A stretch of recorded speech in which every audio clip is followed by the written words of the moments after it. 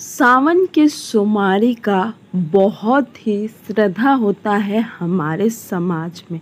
जी हाँ और हमारे ट्रेडिशनल को काफ़ी ज़्यादा फॉलो करती है ज्योति सिंह। आज है सावन की सोमवार।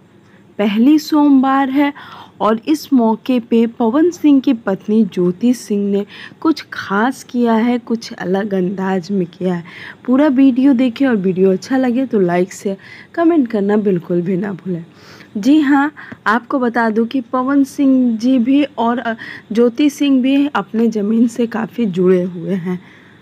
पवन सिंह जी की कह सकते हैं कि सावन की सुमारी इसलिए क्या किया जाता है कि पति की लंबी उम्र हो, पति को यश प्राप्ति हो।